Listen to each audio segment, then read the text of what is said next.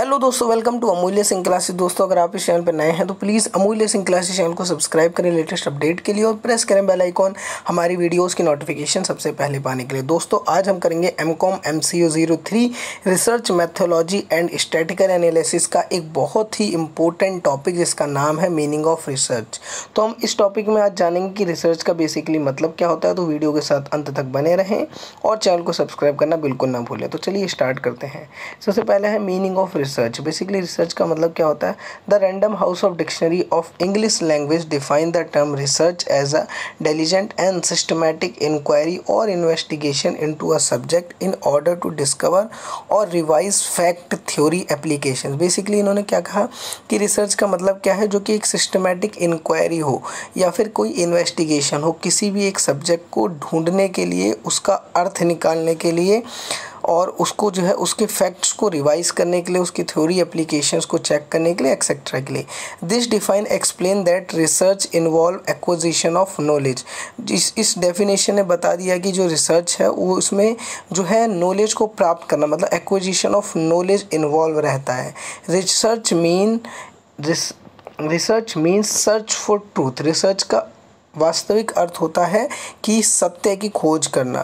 Truth means the quality of being in agreement with reality और fact basically इन्होंने क्या कहा? सत्य का मतलब ये है कि वो जो क्वालिटी है, उस एग्रीमेंट की, वो रियलिटी के साथ जो है बहुत ज़्यादा जो है रियलिटी के साथ मैच करती हो। It also means an establishment और वेरीफाइड फैक्ट इसका दूसरा मतलब यह भी है कि वो जो इंफॉर्मेशन रिसर्च द्वारा आई है, वो वेरीफाइड होना चाहिए। उसके जितने भी तर्क हैं फैक्ट्स हैं, वो सभी वेरीफाइड होने चाहिए।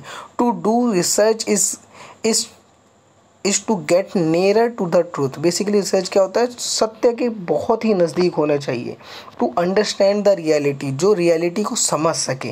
Research is pursuit of a truth with the help of study observation comparison ex ex and experimental basic research का मतलब क्या होता है? इसमें क्या करना होता है? ऑब्ज़र्व करना पड़ता है चीज़ों कंपेरिजन करना पड़ता है एक्सपेरिमेंट्स करने पड़ते हैं।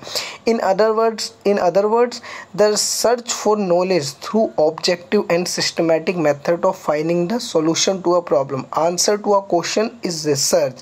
Basically, research का मतलब क्या है? एक सिस्टमेटिक ढंग से किसी एक पैमाने को फॉलो करते हुए किसी भी एक समस्या का हल ढूंढना है research there is no guarantee that research will always come out with a solution और आंसर इसकी कोई भी गारंटी नहीं है कि हर बार रिसर्च की करें अगर हम तो उसका कोई ना कोई परिणाम ज़रूर निकलेगा मतलब कोई ना कोई निष्कर्ष या रिज़ल्ट ज़रूर निकलेगा। ऐसा ज़रूरी ज़रूरी नहीं है, ना ही इसकी कोई भी गारंटी है। Even then to put in Karl Pearson's word basically Karl Pearson's के बारे में आप ज़रूर ध्यान रखें अगर आप रिसर्च और मैथोलॉजी स्टैटिक स्टैटिस्टिक्स के बारे में पढ़ रहे हैं तो कार्ल पियर्सन के बारे में ज़रूर नाम याद रखें। कार्ल पियर्सन्स क्या कहते हैं? Karl Pearson's word there is no shortcut to the truth basically उन्होंने क्या कहा? सत्य तक पहुँचने का कोई भी छोटा रास्ता नहीं है। No way to gain the knowledge of the universe except through the gateway of scientific method basically इन्होंने क्या कहा, कोई भी ऐसा छोटा मार्ग नहीं है नॉलेज प्राप्त करने के लिए इस यूनिवर्स में। Let us see some definition और रिसर्च बेसिकली कुछ डेफिनेशंस दी है रिसर्च की। आपको सभी पढ़ने की ज़रूरत नहीं है। एक से दो मैं आपको समझा देता हूँ। उसे आप पढ़ सकते हैं। एल वी रेडमैन और ए वी एच मोरी ने क्या कहा है? इस देयर बुक अपनी बुक में, जिस बुक का नाम है द रोमांस ऑफ़ रिसर्च इन्होंने क्या कहा है? Define research as a systema systematize effort to gain new knowledge basically इसका इन्होंने क्या कहा है द रोमांस ऑफ़ रिसर्च में कि रिसर्च का मतलब क्या है? रिसर्च वो होती है जिससे हम कोई भी नया ज्ञान प्राप्त करते हैं, उसे हम रिसर्च कहते हैं।